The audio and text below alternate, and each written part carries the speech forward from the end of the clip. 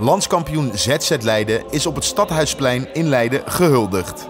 En dat gebeurde in stijl, zoals we dat van de club en de supporters gewend zijn. Toon, eh, gefeliciteerd. Met wat voor gevoel sta je hier? Dankjewel, felicitaties. Ja, het gevoel is eh, fantastisch natuurlijk, grandioos. Eh, tweede keer in drie jaar en eh, de eerste keer was eh, te gek. Deze keer is eigenlijk eh, net zo mooi. Eh, op een ander moment, toen was het vlak na een thuiswedstrijd. Nu zijn we uitkampioen geworden. Maar ondanks dat is het geweldig.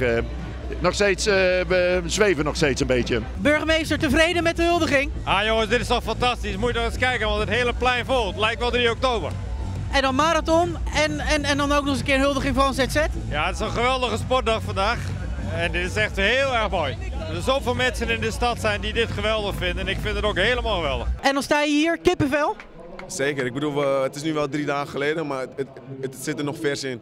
Ik bedoel, het is fantastisch. Deze, deze supporters die we hier zo hebben zijn echt de beste supporters in Nederland. En dit is gewoon fantastisch.